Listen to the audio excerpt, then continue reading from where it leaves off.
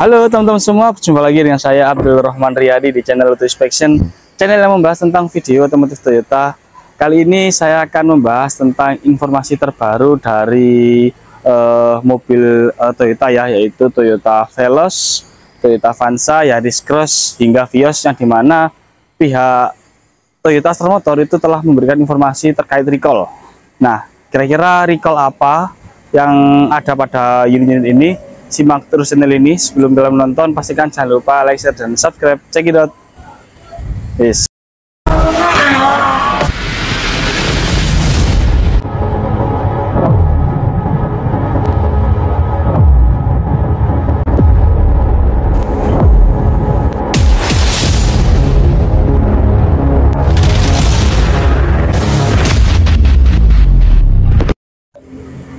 Teman-teman semua, uh, jadi yang seperti saya katakan tadi ya, pihak Toyota Astra Motor memberikan informasi uh, kepada kita semua melalui web, melalui uh, undangan yang dikirimkan kepada pelanggannya, yang di mana pihak TAM ini itu memberikan informasi terkait recall atau penarikan kembali unit-unit yang sudah disebar di seluruh Indonesia untuk melakukan pemeriksaan.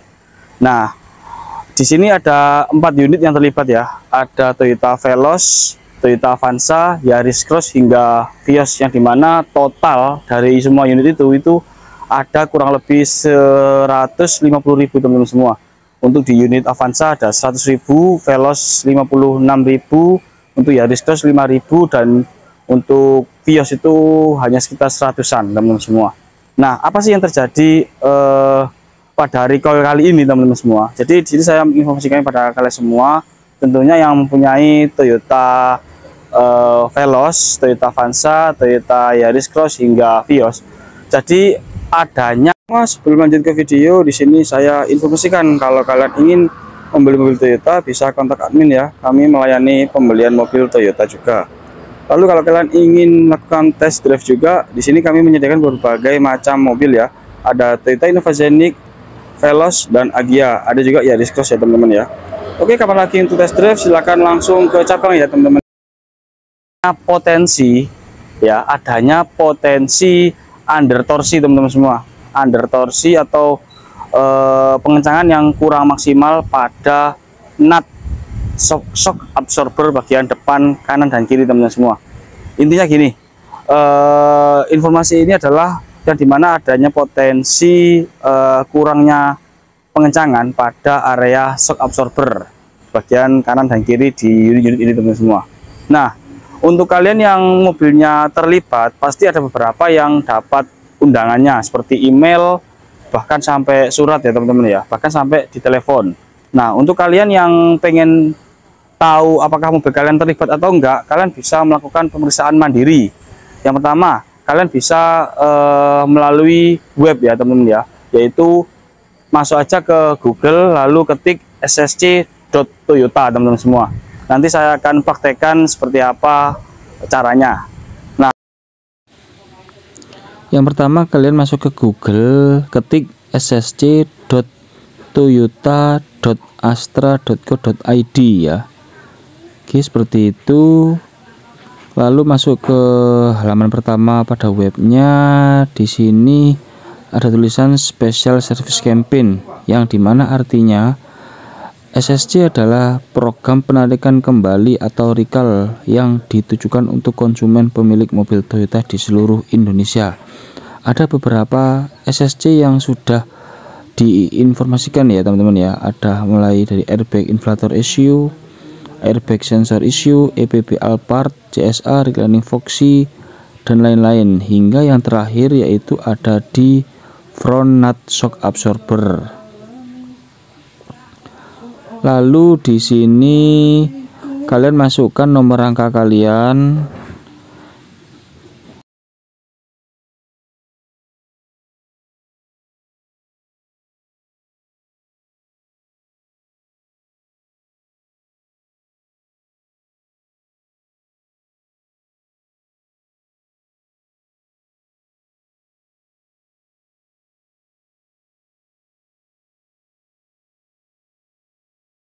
setelah masukkan nomor rangka kalian masukkan email kalian.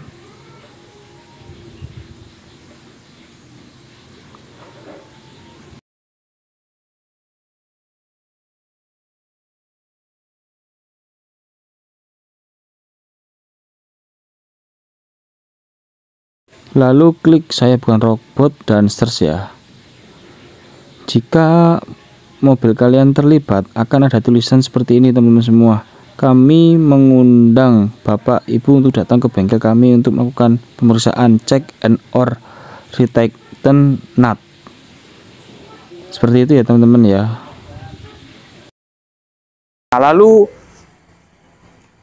yang kedua cara memeriksa ketika mobil kalian terlibat atau enggak kalian bisa langsung ke dealer atau ke cabang terdekat rumah kalian. Nanti akan dilakukan pemeriksaan ya. Apakah mobil kalian terlibat atau tidak. Nah jika mobil kalian terlibat di sini saya akan memberikan eh, apa sih kira-kira yang akan dilakukan ketika di bengkel nanti mobilnya teman-teman semua. Oke seperti ini.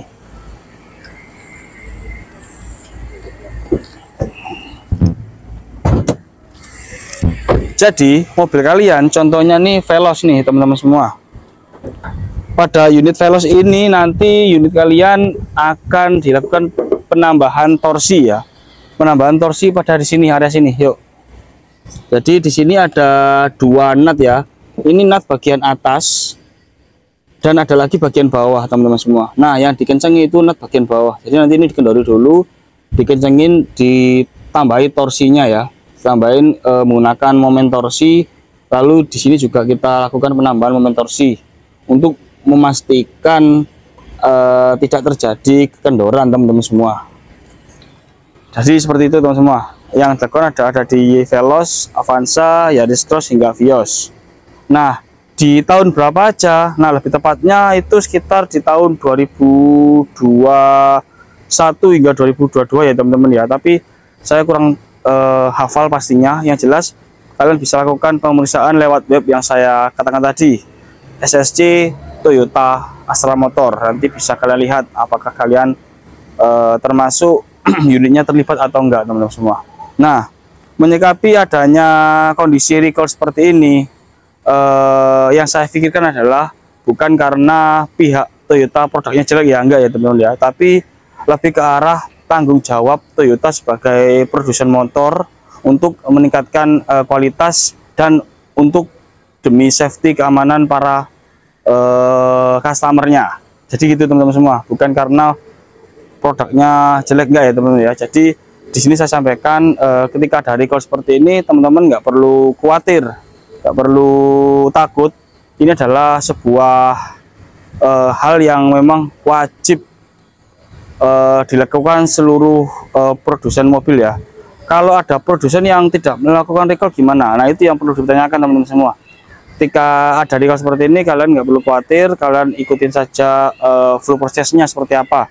Kalau emang kalian takut bisa langsung ke dealer. Kalau enggak kalian bisa hubungin THS atau Toyota Home Service ya teman-teman ya agar lebih pasti. Kalau kalian nggak ada waktu gimana? Uh, untuk case ini itu bisa dilakukan di rumah teman-teman semua. Jadi kalian bisa tinggal telepon Toyota Home Service kalau kalian tidak ada waktu. Jadi nggak perlu harus ke bengkel nih lebih enak lagi kan teman-teman semua nah seperti itu ya teman-teman ya. Uh, recall yang ada kali ini uh, terkait Toyota Veloz, Avanza, Yaris Cross hingga Vios. Nah jika teman-teman banyak yang tanya recall apalagi yang uh, terupdate teman-teman nanti saya akan buatkan video satu lagi yaitu recall terkait uh, garnish pilar pada unit Toyota Sienta yang adanya potensi kebocoran pada pilarnya teman-teman semua. Oke uh, sekian teman-teman semua video dari saya. Untuk kalian yang masih bingung bisa komentar di bawah ya atau bisa WA aja di nomor yang ada di deskripsi. Kalau kalian mau tanya tentang recall tentang unit tentang apa pun itu insya Allah kalau saya bisa saya akan jawab.